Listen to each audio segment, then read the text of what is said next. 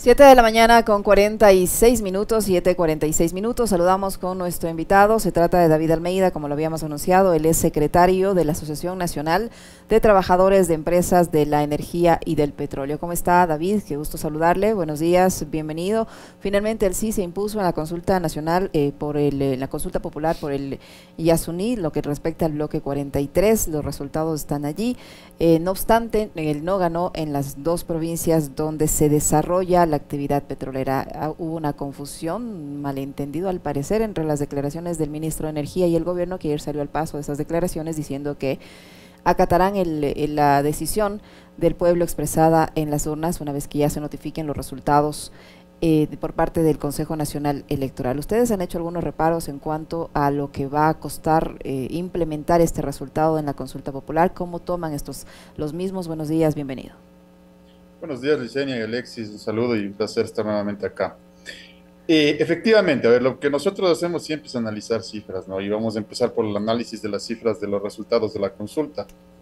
Recuerden ustedes que el ambientalismo habló siempre en nombre, sobre todo de las comunidades que están en la zona de explotación, y habló siempre de que estábamos tratando y buscando de defender no solo la naturaleza, sino los intereses de aquellas comunidades. Y resulta que en la práctica las provincias de Orellana y de Sucumbío se pronuncian rotundamente por el no en esta consulta, como nosotros en cambio lo habíamos advertido. Y esto ya primero demuestra la primera mentira del ambientalismo alrededor del tema. Es decir, no se buscaba el interés de las comunidades de la zona, habían otros intereses detrás y simplemente eso es lo que ha quedado demostrado.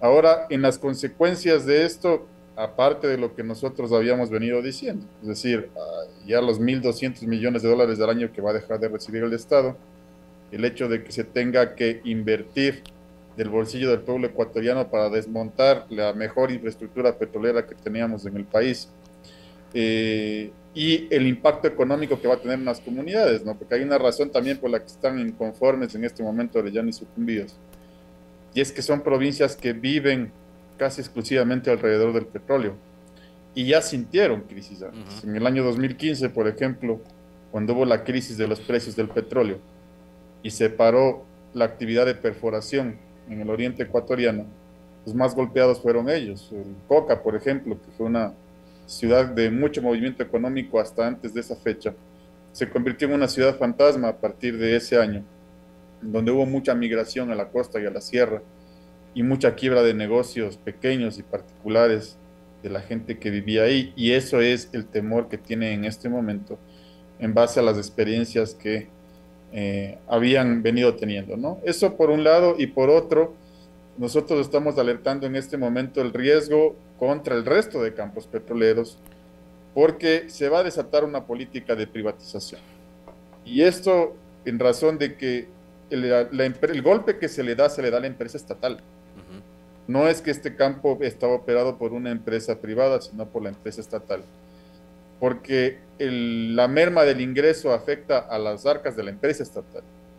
Y porque el dinero para desmontarlo va a tener que poner la empresa estatal.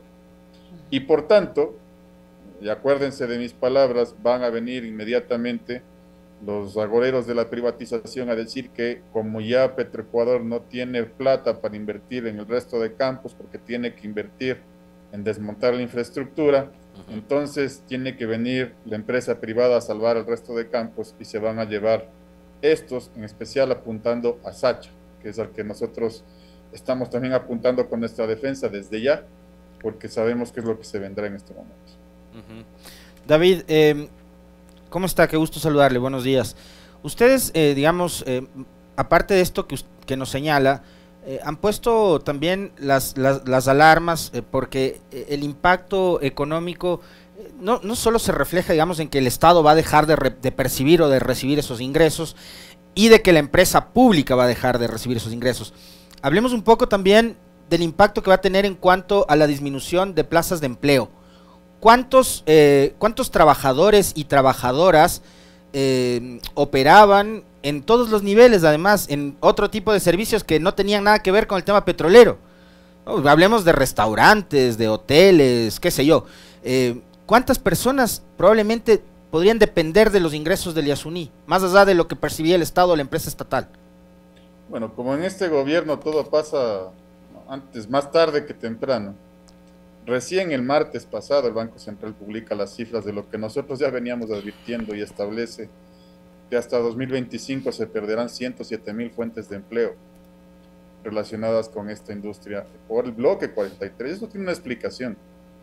No es que en el bloque 43 solamente trabajan o están vinculados los mil trabajadores directos en el bloque. Para que opere el bloque 43 tenía que proveerse servicios de todo tipo, desde equipo pesado, equipo fluvial, servicios de comida, de alimentación, de telecomunicaciones, es decir, una gran variedad de servicios que viajaban sobre todo desde las ciudades de la provincia de Orellana y de las ciudades de la, pues, de la provincia de Sucumbíos, que es la razón por la que estas provincias se oponen a la consulta popular. Eh, los trabajadores, de la, la mayoría de trabajadores formales en estas provincias están directamente vinculados de alguna forma a la actividad petrolera y resulta que en este bloque en particular era donde se concentraba la mayoría de inversiones del petróleo en la actualidad. Dentro de la operación petrolera, la actividad que más mueve inversiones, que más dinamiza la economía es la actividad de perforación de pozos. Y esa actividad estaba concentrada, estuvo durante estos años concentrada casi, casi exclusivamente en el bloque 43. Entonces, esa es la razón por la que se teme también, y, con justo argumento, de la pérdida de empleos en este momento, porque hasta la tienda de barrio, hasta la farmacia, depende del movimiento económico que le dan los trabajadores también que están vinculados a la industria petrolera. Y porque, como decía, ya en 2015 sintieron estas poblaciones la crisis de los precios. En ese momento no fue porque se paró la producción, sino porque cayeron los precios y se paró la inversión. Es decir, se paró la perforación, para que se entienda más claramente. Y cuando se paró la perforación, se quebró a la economía de estas provincias. Entonces, el efecto va a ser grande y va a venir un conflicto social, porque nosotros también habíamos advertido esto. Una cosa es ver los toros de lejos y otra cosa es decirle a la gente que tiene como único fuente de ingreso el trabajo alrededor del petróleo, decirle, bueno, nosotros decidimos por ti, así que búscate otra forma de vivir y, mira cómo te las arreglas, ¿no? Esto va a generar un conflicto social que no lo van a resolver los ambientalistas, lo va a tener que resolver el Estado. Y vamos a ver cómo se desarrollan las cosas en adelante. David, ¿cuánto tendrá que invertir Petroecuador para desmontar toda esa infraestructura en el bloque 43 eh, y qué tiempo tomará eh, este proceso? Porque ayer el gobierno ha dicho que van a hacer una especie de consultoría para ver cómo pueden desmontar eh, esta infraestructura, pero que le va a corresponder al próximo gobierno, sea el gobierno de transición y quizá el gobierno del 2025, desmantelar esto y buscar una solución para compensar los recursos que se dejan de percibir. A ver, Petroecuador hizo una estimación de cerca de 500 millones de dólares. Nosotros hicimos una estimación más alta, nosotros eh, le pusimos 2 mil millones a la estimación que hicimos como trabajadores y esto tiene una razón. Y es que es diferente montar, por ejemplo, tubería nueva, donde tienes que desbrozar la selva, tienes que enterrar la tubería y luego volver a revegetar, a desmontar tubería por la que ya pasó crudo, por ejemplo. Entonces, ahí lo que hay que hacer es otra vez retirar lo que se revegetó, desenterrar la tubería y hacer una operación quirúrgica para evitar la contaminación del medio ambiente, porque si tienes tubería por la que pasó crudo, es mucho más difícil de retirar. Yo alguna vez hacía una comparación, es como que ustedes tuvieran una manguera eh, de agua en el jardín o en el patio de una casa y ustedes la dejan esa manguera con la llave del, al final de la manguera cerrada, pero si ustedes cortan la manguera lo que van a tener es un reguero de agua. Lo mismo va a pasar acá. Es decir, hay una operación bastante sensible para remover esto y no va a tomar el año que dijo la Corte Constitucional que tenemos de término para remover la infraestructura. Porque tenemos 230 pozos perforados ahí y cada pozo no es que simplemente se cierra la llave y nos vamos. Hay que hacer un proceso de abandono técnico normado, tanto por la normativa nacional como la internacional, y eso toma cerca de 15 días por pozo. Si ustedes hacen la matemática, eso puede tomar cerca de 9 años el desmontar. Entonces, no es esto de soplar y hacer botellas, como nos plantearon. En realidad es un, es un callejón sin salida, es un golpe muy duro el que le han dado al país. eh, con esta consulta y obviamente la empresa tiene que cumplir con la disposición del pueblo ecuatoriano con las consecuencias que esto acarreará. ¿Es de cumplimiento obligatorio e inmediato? Le pregunto esto por qué, David, eh, por la polémica que se desató ayer. Digamos, eh, yo de entrada en el comentario lo que decía es, bueno, la pregunta que habría que hacerse y después, claro, el propio gobierno nos respondió, es si es que las declaraciones de Santos Albite fueron consultadas con su presidente, pues o con el equipo de asesores o con los ministros de los sectores estratégicos, qué sé yo. Pero el señor Santos Albite está claro que no representa al gobierno ni al Ecuador, representa seguramente también sus intereses particulares. Entonces salió y dijo que iba a desconocer el resultado de la consulta porque eh, además argumentaba el numeral 7 del artículo 57 de la Constitución, que habla además de la consulta eh, previa en, territorios específicos, ¿no? Eh, pero ahora ¿Qué le queda al Estado ecuatoriano y al gobierno? Acatar nada más, porque después finalmente lo que hicieron fue desautorizar al ministro. Sí, mira, Alexis, yo, no soy jurista, pero, pero sí creo que, esto es una muestra más de la ineptitud de, un gobierno y de un ministerio, que tenía que haber hecho su trabajo en su momento, porque, por último, si estos argumentos los tenían y tenían que montarlos, había que montarlos en la audiencia con la Corte Constitucional. Yo, yo, puedo coincidir, y de hecho coincido, y lo advertimos en la campaña, de que a nosotros sí nos parece incongruente de que haya habido dos consultas similares, la de Chocó y la del Yasuni, y la una sea local y la otra nacional. Que la una diga esto opera de aquí en adelante, es decir, respeta las concesiones que se habían hecho, la de Chocó. Y la nacional, la del Yasuni, dice, bueno, pero como aquí opera el Estado, desmonte todo. Sí, es decir, nosotros sí cuestionamos esto pero el trabajo del ministro era hacerlo en su momento, pues cuando se discutió esto en la Corte Constitucional. ¿Dónde estaban? Es decir, hay una ineptitud, y por eso yo también hablaba, a veces esa ineptitud no es accidental. Porque nosotros en un comunicado público también dijimos y, mostramos claramente, ¿no? ¿Quiénes se benefician con el sí? Porque acá ustedes vieron que en la campaña por el sí hubo mucho dinero. Así es. Pero ¿quiénes, ¿quiénes a su criterio, David, se benefician con el sí? ¿Por qué no vimos a ningún sector privado de estos que, les gusta invertir en el Ecuador o de las compañías privadas que algún momento pueden pasar por este mismo proceso si es que hay una nueva consulta, hacer campaña por el sí? Sí, justamente. A ver, vamos a ver. Hay dos beneficiados en el sí. Uno, los que pusieron dinero en la campaña por el sí, que son precisamente los capitales verdes internacionales, representados en las ONGs que operan en nuestro territorio que buscan que nuestro país deje de producir sus recursos para someternos a la política de endeudamiento con bonos de carbón. ¿sí? Con los bonos verdes y azules, famosos verdes, bonos verdes y azules, que además tienen la condición de que nos entregan dinero de deuda, y esa deuda tiene la condición de que solo se puede usar en comprar tecnologías verdes, infraestructura verde o servicios verdes, que coincidencialmente proveen justamente los financistas de las ONGs verdes. Entonces, esos son los primeros beneficiados y por último, por eso hubo tanta campaña en el sí, inundados las redes, actores, spots eh, y con temas inéditos, coreografías, demás. Ustedes saben cuánto vale un minuto de esos spots. Eh, por otro lado, ¿quiénes se benefician? Los que no pusieron plata en la campaña por el no. Porque uno hubiera esperado, lo lógico era que, digamos, si habían los capitales verdes por un lado, los capitales petroleros hubieran hecho lo suyo por el otro lado. Pero en realidad, la campaña por el no la sostuvimos únicamente los trabajadores. Fue notorio y público. Solo los trabajadores fuimos casi, casi los únicos que defendimos la campaña por el no y obviamente con recursos modestos que tenemos los trabajadores. ¿Por qué es que las petroleras no apoyaron la campaña por el no, no pusieron plata? Porque se benefician. Porque el golpe aquí es contra el bloque operado por el Estado. Porque el golpe es contra la empresa del Estado. Y de esta manera, ellos logran justificar en adelante la privatización del resto de campos operados por el Estado, que son los que quieren, a los que les tienen puesto el ojo hace rato.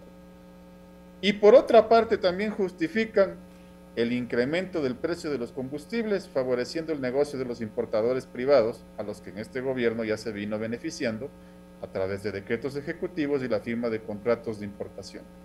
Entonces, el resultado final es que obviamente, por un lado se benefician los que ponen plata para el sí, y por otro lado se benefician los que nada hicieron para que no gane el sí, porque estaban contentos. Es decir, se benefician tanto los capitales verdes como los capitales de las petroleras privadas. Y habrá también, eh, digamos, importadores de combustibles que se beneficien, ¿no? Porque si vamos a, resignar nosotros esos 60 mil barriles día, eh, vamos a tener que buscar de otro lugar como para poder abastecer la demanda del mercado, pues. Por supuesto, ustedes recordarán, Alexis, que hace un año la lucha que se dio contra el alza de precios de los combustibles, que además la dimos también nosotros y la defendimos técnicamente, siempre la sustentamos en el hecho de que somos un país que produce petróleo. Es que no hay otra forma de sustentar precios bajos del petróleo sino produciendo petróleo y refinando ese petróleo. Entonces, al momento en que nosotros dejamos de producir petróleo, eliminamos el sustento sobre el que se sostiene el precio congelado de los combustibles. Y cuando liberen el precio de los combustibles o lo quieran hacer, ahí va a venir en cambio el beneficio para los importadores privados, porque obviamente como ellos no tienen refinerías, ellos su costo va a ser siempre el precio de importación y tienen que tener el precio liberado para que esto sea negocio, el venderlo internamente y poderlo vender a un precio poco superior al precio de importación. Entonces, finalmente ellos son los beneficiados de esto, y por eso hemos dicho nosotros, estamos unidos, estamos movilizados los trabajadores para defendernos de dos cosas. Primero, de la privatización del resto de campos y segundo, del el incremento del precio de los combustibles que se va a venir, que hay que buscar de dónde sostener. Y yo ahí sí voy a apelar al argumento de los ambientalistas de que no, es que le faltan recursos a la caja fiscal, que, que busquemos otras alternativas. Pero sí fue pegarse un tiro en el pie el haber dejado de producir o haber votado para que se deje de producir el 16% de la producción petrolera exportable del país y que se deje de recibir el 4.6% del presupuesto general del Estado de ingresos.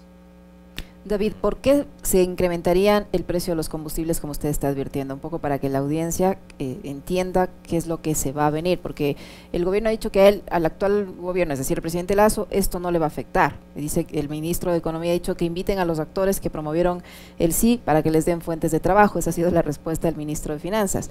Pero él señala que tres meses tomaría hacer esta especie de estudio para ver cómo empiezan a desmontar, pero que el problema va a ser para el gobierno de transición y el que viene, que va a tener que adoptar medidas como incrementar algunos impuestos como el IVA, por ejemplo, o eliminar los subsidios. Exacto, a ver, es que ¿cómo se, cómo se mantienen los precios bajos de los combustibles? Se mantienen porque parte de del consumo de derivados de combustibles que tenemos en el país se suple con producción nacional. Esa producción nacional viene de nuestro petróleo, es decir, nosotros tenemos petróleo y tenemos refinerías.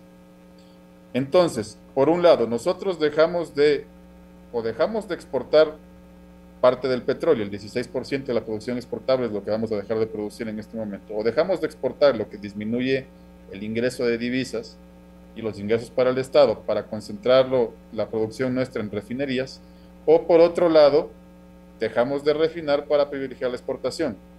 Si es que hacemos lo segundo, lo que va a pasar es que aumenta la proporción que nosotros importamos de combustible.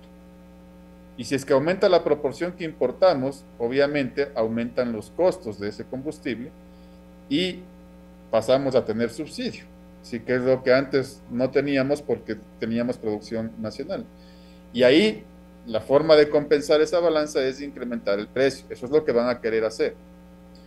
Nosotros lo que vamos a sostener es que se mantenga la producción local, que tiene que de hecho ampliarse la producción local de derivados para poder bajar los costos de la importación. Eso es algo importante que tenemos que exigirle al siguiente gobierno, que aumente nuestra capacidad de refinación para poder bajar el precio o el costo, perdón, de los, de los combustibles de producción nacional y poder mantener los precios congelados, eh, de forma de que no se tenga que subir. Eso es por un lado, pero por ese otro lado lo que van a hacer es efectivamente subir los impuestos, porque no es que se puede decir, dejo de recibir 1.200 millones y ya.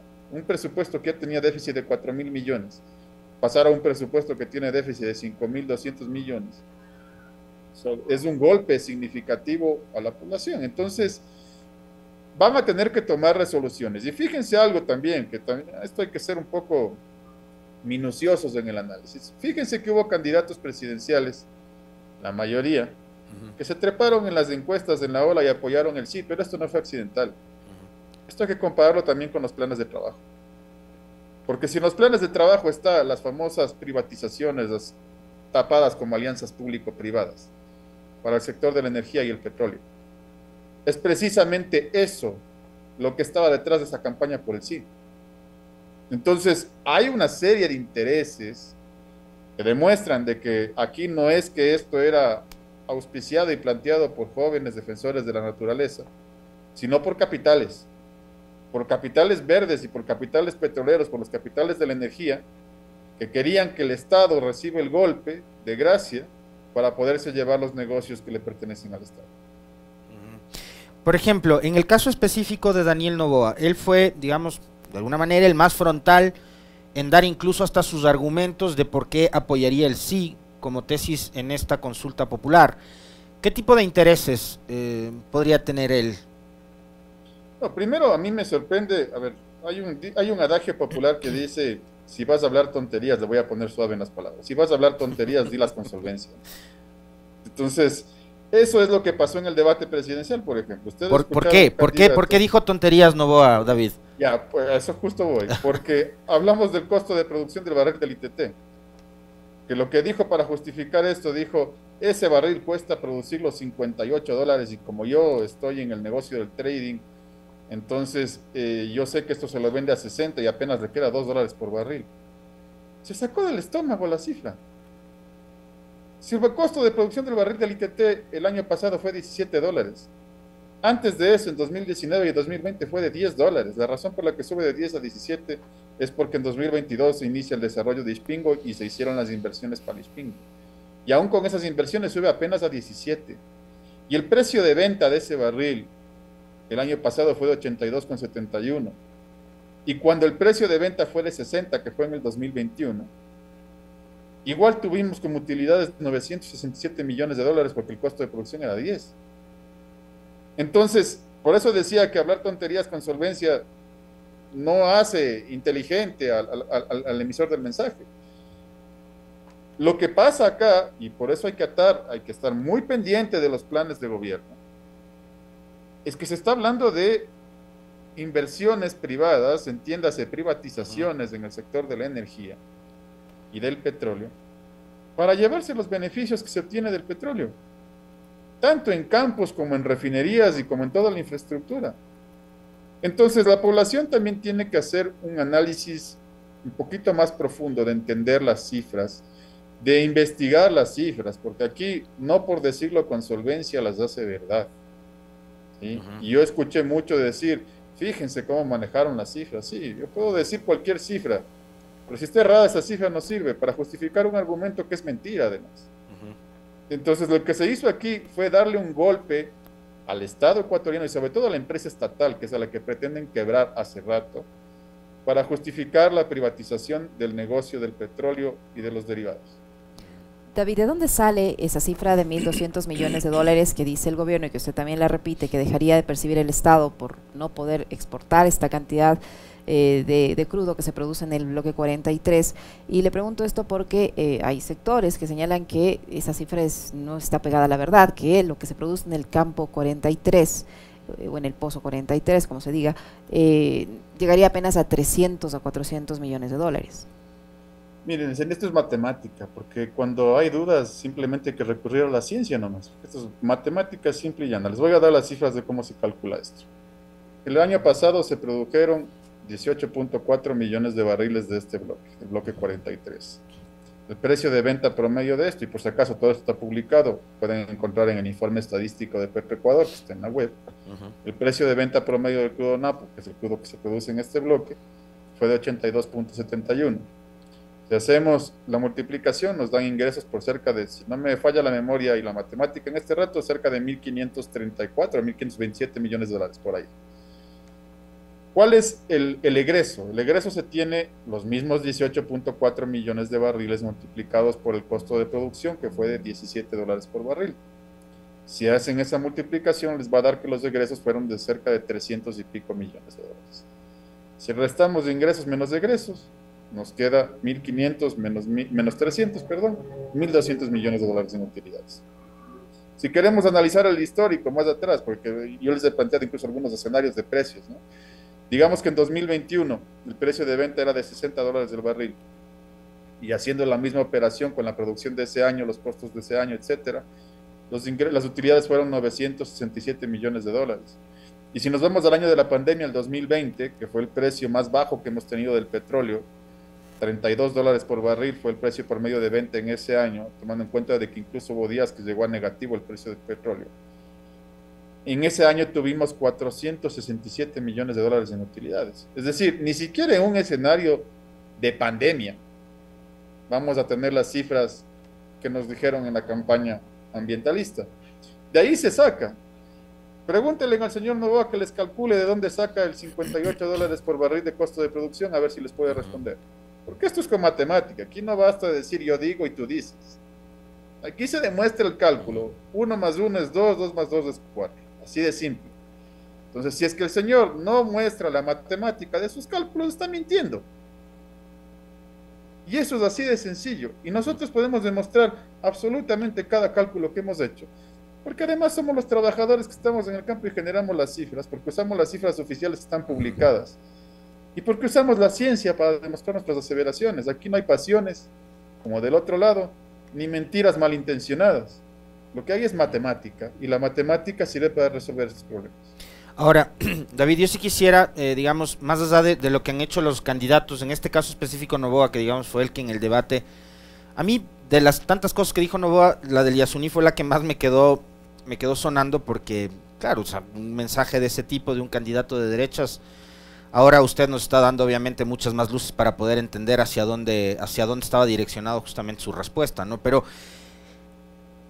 mucho antes de la consulta del 20 de agosto, el tema del Yasuní siempre fue utilizado demagógicamente y políticamente para tratar de captar votos. ¿Por qué? Porque las causas ambientales, el cuidado de las mascotas, los animalitos, ahora te dan muchos votos, ¿no? Entonces, a Guillermo Lazo en las campañas del 2013, del 2017 y del 2021, siempre le vimos muy comprometido con el tema del Yasuní, o, los Yasunidos, siempre estuvo muy bien acompañado de ellos, em, hacía foros, debates, conversatorios, eh, ayer nomás eh, hubo un tuitero que se dedicó a, remover el, el, timeline de Guillermo Lazo en aquellas épocas y sacó como unos 5 o 6 tweets en defensa del Yasuní, ¿no? mientras su ministro decía que iba a desconocer el resultado de la consulta.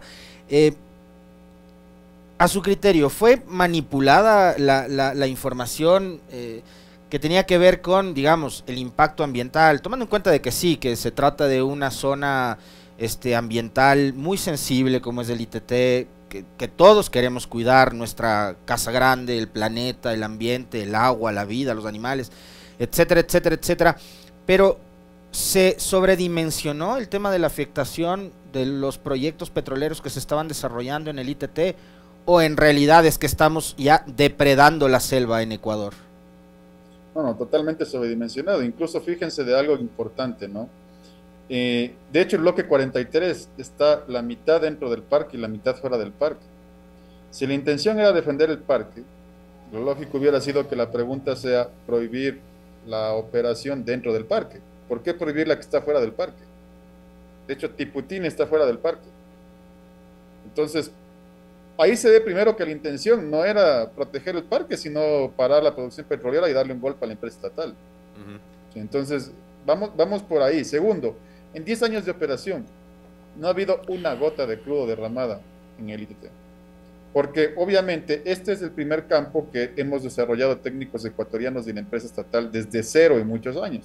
Todo el resto de la operación petrolera del país ha sido heredada, de Texaco, de Occidental, de Perenco, pónganle nombre.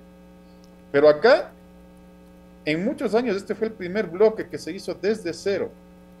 Y se hace desde cero con otra concepción de producción con la del cuidado ambiental. Ingeniería está para resolver, con la ciencia estamos para resolver este problema de cómo extraigo crudo de una zona tan sensible sin afectar tanto el medio ambiente. Y digo tanto porque obvio siempre va a haber una afectación. ¿Cuál fue la afectación? 80 hectáreas, de un total de un millón de hectáreas. Y de las 80, 40 están en el parque.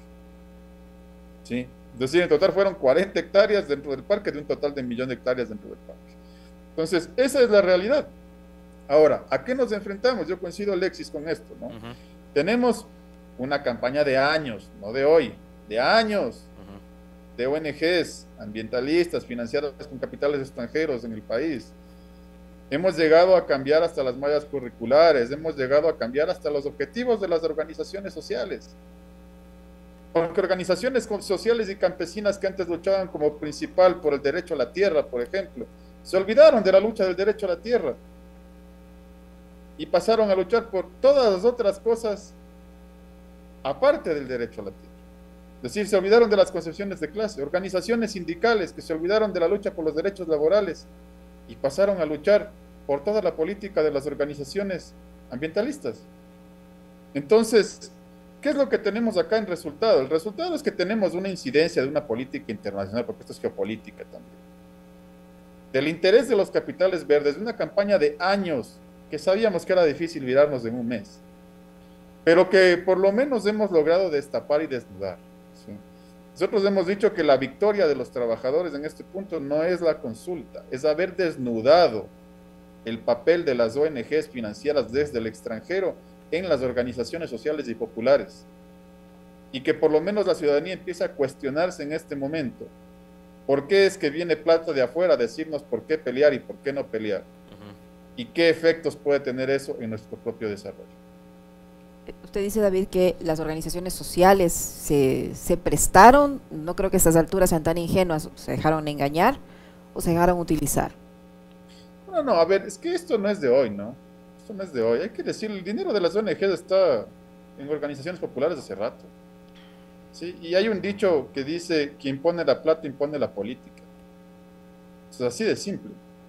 Entonces, por eso es que nuestro mensaje a la ciudadanía, a la población, nosotros lanzamos una consigna, que es levantar la independencia política de la clase trabajadora, levantar la independencia política de las organizaciones populares, que viene precisamente de rechazar la influencia de organizaciones financieras del extranjero para que impongan la política de lucha en nuestras organizaciones. Y de esa manera nosotros poder levantar de manera autónoma las propuestas para nuestro propio desarrollo. Entonces la victoria que tenemos hoy acá es precisamente esa, la de que hemos empezado a desnudar, de que la gente ha empezado a hablar de esto. Ahora se escucha muchos hablando de los bonos de carbono, cuando, vino, cuando vinieron los primeros bonos de carbono, los bonos azules en las Galápagos, nadie entendió de qué era. Hoy la gente entiende de dónde vienen y para qué están. Y saben que esto es condenar al país a una neodependencia de capitales verdes ahora y que contra esa política tenemos que luchar. Entonces, es importante el haber destapado esa discusión y que la gente empiece a cuestionarse y a pedir cuentas también del financiamiento de estas organizaciones, porque nadie rinde cuentas. Vayan y pregunten de dónde reciben plata las ONGs y nadie sabe. Sí, pero el asunto es que en la práctica esto viene de capitales internacionales y como he dicho, nadie financia algo si no tiene un interés detrás. Ahora, David, estamos en medio, ya en pocos días más comenzaremos la segunda parte de esta campaña electoral para la presidencia de la República en estas elecciones anticipadas. Los dos binomios, tanto la señora Luisa González como el señor Daniel Novoa, deberían en esta fase revelar qué es lo que van a hacer para enfrentar en este corto gobierno de transición los problemas que, esta, que este resultado en la consulta popular les va a generar eh, deberían ser explícitos y decir vamos a hacer esto y esto y esto para acatar esta decisión y compensar lo que no se va a recibir. Por supuesto, y además tienen que transparentar las cifras, porque aquí no basta decir, como he dicho, que el costo de producción es 58 dólares y vaya y vea de dónde me lo saqué. No, aquí a la gente hay que demostrarle las cosas, hay que explicarle bien las cosas. Hay que decirle esto lo saco de aquí y de acá, uno más uno es dos. Y luego decirle cómo vamos a solucionar. Los trabajadores hemos levantado hace rato la solución para esto, que es la industrialización del país. Como dije hace un momento, el problema del costo del precio de los combustibles se resuelve si nosotros levantamos nuestra capacidad de refinación. Para eso deberíamos hacer o repotenciar nuevamente la refinería de Esmeraldas o finalmente lo que ha propuesto la señora González, que es retomar el proyecto de la refinería del Aromo en Manabí. Así es, cualquier proyecto que aumente la capacidad de refinación del país tiene que hacerse. Porque mientras nosotros sigamos exportando petróleo crudo e importando derivados de su mayor cantidad, vamos a seguir también con una balanza, eh, avanzando la balanza comercial negativa, que es lo que ya ha empezado a ocurrir en algunos puntos. Y el problema no es del petróleo, porque en esta campaña también nos dijeron, la de la consulta, nos dijeron, ahí está de que el petróleo no sirve para nada, decían. Porque vean ustedes cómo ahora la balanza comercial es negativa, ahora ya importamos más de lo que exportamos. Y esos son dólares que se van de nuestra economía, de paso, tanto que les preocupa la dolarización. Exactamente. Pero la, y la propuesta y la respuesta de ellos a eso fue, dejemos de producir petróleo. O sea, no hay congruencia, no hay raciocinio en las cosas. Cuando la respuesta no es dejemos de producir petróleo, sino aumentemos la capacidad de refinación. Eso es lo que hay que hacer, hay que industrializar.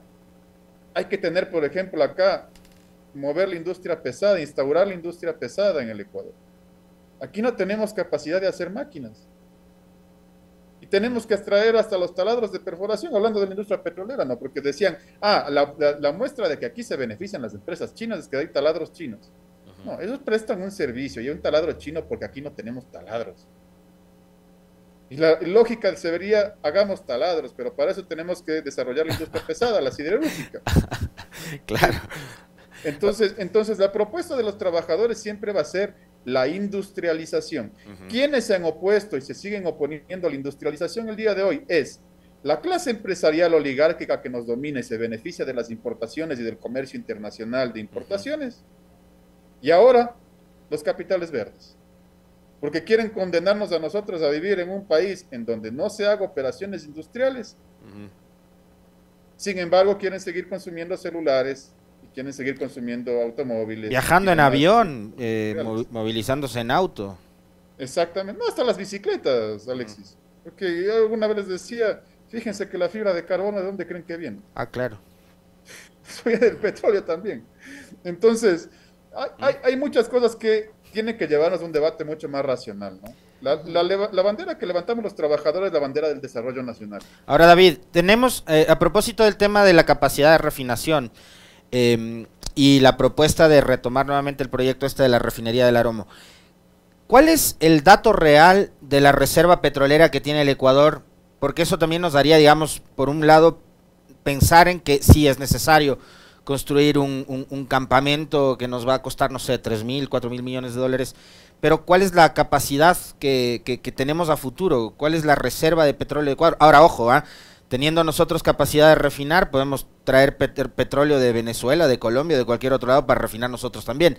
Pero ¿cuál es la reserva real que tiene el Ecuador en, tema eh, petróleo? Exactamente, verás, en el tema de reservas del Ecuador es el tercer país de América Latina con mayores reservas de petróleo, después de Venezuela y de Brasil. Nosotros tenemos más reservas que Colombia.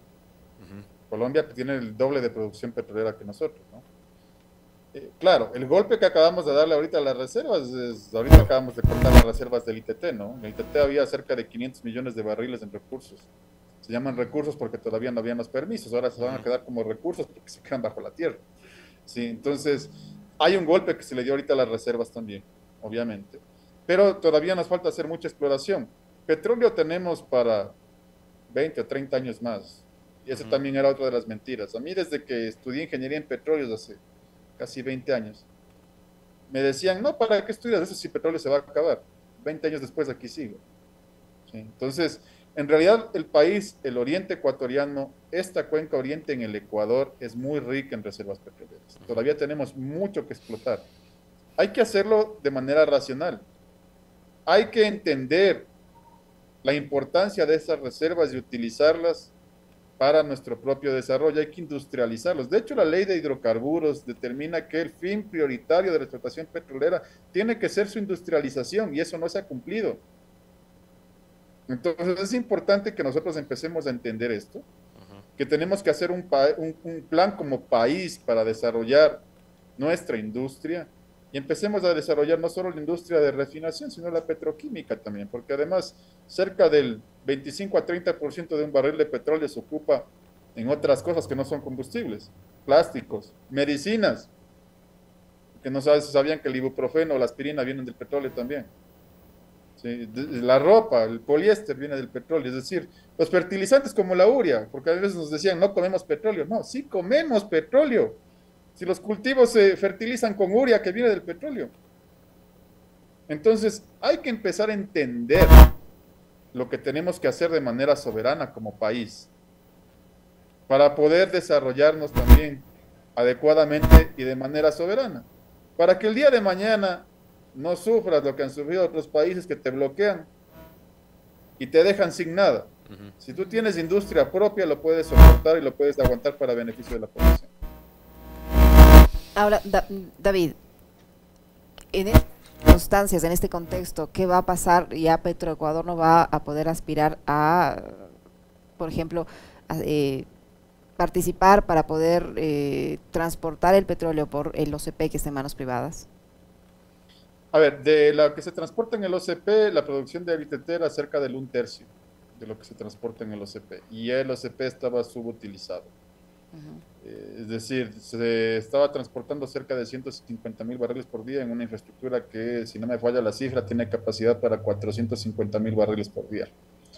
Hoy vamos a empezar a transportar cerca de 100 mil barriles por día, es decir, la cuarta parte de la, de la infraestructura. Ahora, esto no quiere decir que a futuro no se pueda utilizar bien, porque si se siguen explotando las reservas de crudo que tenemos en el oriente, eh, podríamos ocupar la infraestructura del OCP. Es importante primero que esta infraestructura regrese a manos del Estado, como tiene que regresar a finales de este año. Eh, porque además eso permitiría ahorrarle al Estado cerca, bueno, el cálculo era con la, con la producción del pero, era cerca de 2.500 millones de dólares eh, lo que se ahorraría el Estado con revertir la concesión, ¿no? Esto habría que volver a recalcular después de que se pierde la producción del ITT, pero era el cálculo que teníamos hasta ese momento. Entonces, es importante revertir esa infraestructura porque además es importante que nosotros unifiquemos la infraestructura nacional. Mientras tengamos infraestructura privada operando por su lado, no podemos establecer un plan como país para poder utilizar de manera centralizada y planificada toda nuestra infraestructura para beneficio 100% de, de, la nación. Entonces es importante que estas infraestructuras que están en manos privadas se vayan revirtiendo conforme vayan terminando los contratos para que la empresa estatal pueda hacer una planificación adecuada. David, para finalizar y una respuesta breve, eh, me piden que le traslade esta inquietud. Si hay experiencias como estas en otros países, eh, donde se ha limitado la explotación petrolera y cuál ha sido el resultado. No solo petrolera, sino extractivista en general. O esto, digamos, lo de Ecuador es, es ahora mismo algo único en el mundo. No, en petróleo los campos petroleros no se abandonan. De hecho nos decían, ah, no, es que el del abandono tenía que estar planificado. En la península de Santa Elena tenemos un campo petrolero que tiene 100 años produciendo y no se lo ha abandonado, porque los campos no se abandonan los campos se siguen produciendo mientras sigan siendo rentables. Lo que se abandona es pozos, ¿sí? pero no campos. Entonces, esto no ha ocurrido. De hecho, en Brasil están discutiendo en este momento algo similar respecto de la cuenca de la desembocadura del río Amazonas, donde hay buena cantidad de reservas petroleras. Y el presidente Lula ha dicho que primero tiene que producirse los recursos, es decir, que no están yendo por ese camino nosotros vamos a hacer la muestra de lo que va a ocurrir. Y de aquí a un año, Alexis, simplemente de aquí a un año vamos a ver lo que va a pasar con las provincias de Orellana y Sucumbíos. Y vamos a poder ver los defectos y mostrarle al mundo los defectos también de lo que está ocurriendo. Es decir, esto no ha pasado en ninguna otra parte. Y de pronto vamos a hacer el laboratorio del mundo para que ver, ver qué pasa en lo social, en lo ambiental inclusive, porque vamos a ver qué pasa con el, esta parte del bloque IGT en el Parque Nacional Yasuní una vez que abandone la empresa petrolera la zona. ¿A quién le toca la reparación ambiental, David? ¿A quién le toca la reparación ambiental de este campo? y, más, si hay la experiencia para eso. Más que la reparación ambiental, el problema es que lo que van a proliferar son las actividades ilegales. Sí, y esto ya ha pasado en otras zonas, como el Parque Nacional Cuyabeno, por ejemplo, el norte del parque ya se ve tal ilegal de árboles, porque lo que ocurre aquí es que 800 de los mil trabajadores directos eran de las nacionalidades quichuas y guaraníes que están en la zona. Déjenle sin trabajo, ¿qué es lo que va a pasar? ¿Y quién va a venir a reemplazar esas fuentes de empleo? Las actividades ilegales. Y vamos a ver después, por ejemplo, las maderas ilegales con la tala ilegal devastando el parque, ahí sí. Entonces, Vamos a ver qué es lo que pasa. Y esto ya lo advertimos nosotros también. Al norte del Parque Nacional Cuyabeno, ustedes pueden ver 15 o 20 plataformas de madera diarias circulando porque nadie controla la deforestación. Porque el Estado no puede controlar ni las cárceles. Peor aún se va a ir a controlar un parque en la frontera. Tenaz. Muchísimas gracias, David. Muy amable por habernos eh, acompañado en esta entrevista. Muy gentil, David. Un fuerte abrazo. Con todo gusto, la orden. Un abrazo. Lo propio para David Almeida, secretario de la Asociación Nacional de Trabajadores de Empresas de la Energía y del Petróleo, que ha estado con nosotros 8 con 30 minutos. Una pausa, luego regresamos con el reprise de la entrevista que realizó nuestro compañero Orlando Pérez al expresidente de la República, Rafael Correa Delgado.